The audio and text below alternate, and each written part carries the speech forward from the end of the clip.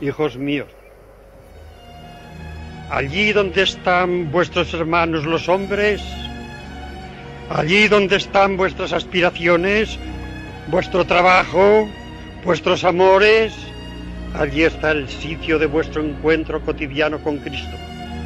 Es en medio de las cosas más materiales de la tierra donde debemos santificarnos, sirviendo a Dios y a todos los hombres.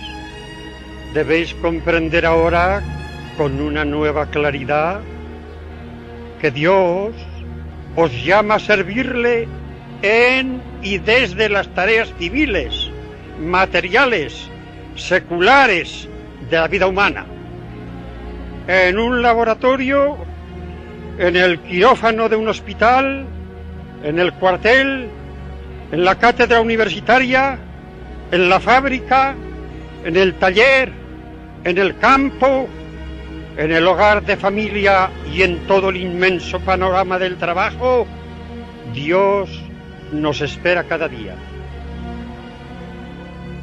Sabedlo bien. Hay un algo santo, divino, escondido en las situaciones más comunes que toca a cada uno de vosotros descubrir.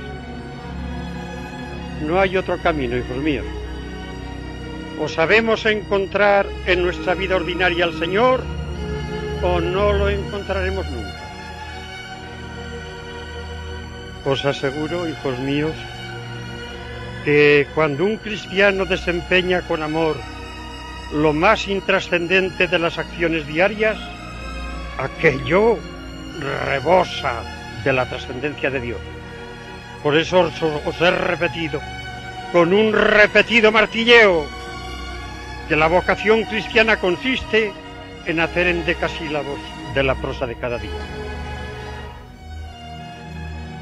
En la línea del horizonte, hijos, parecen unirse el cielo y la tierra,